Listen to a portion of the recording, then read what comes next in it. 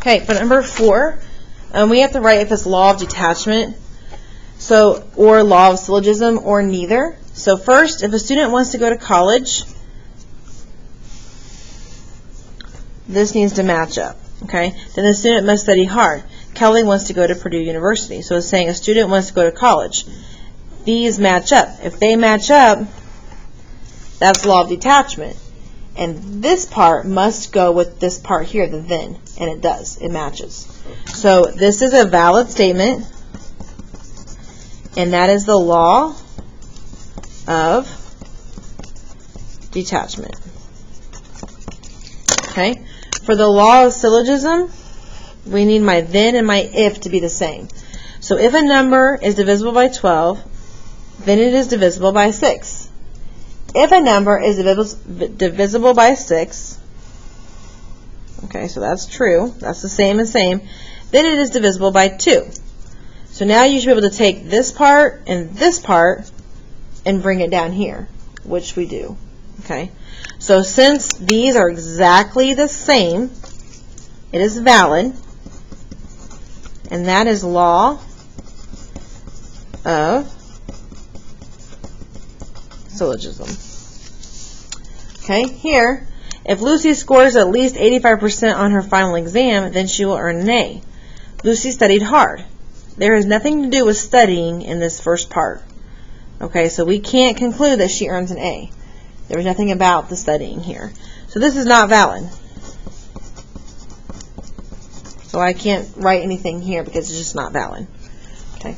On the bottom, down here, um, we can just check those answers. So we just flip them around for symmetric. It's the exact same thing for reflexive. I substituted the 75 in for AB here. Okay.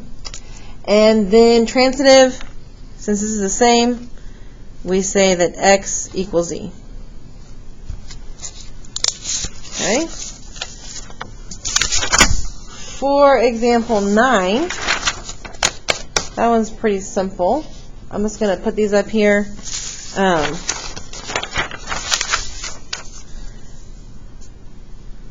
I started out with my statement because it was given, and then I worked it out using distributive property, and then I added 10, and then I divided and got 6. Okay? For this one, um, it's a little, it's very similar to the homework. Now for this one, they had you write the two givens on separate lines here. So I've got this one and this one. Sorry, number one, number three are your givens. And if I know something's a midpoint, I know that this is congruent to this. Okay, definition of midpoint. Um, I am running out of time, so I'm just going to go real quickly. And then the, the number 11, I know it looks a little bit different on this than it does on your paper. Okay, but it is, it is the same problem. So right here, this is the same problem. Okay. And then the last one, I'm going to try to get through real quickly. Kids are coming back from lunch. So if um, this right here has to be 90, and these are both 37. So angle 3 is 37. And then um, angle 5 is 90, that's given.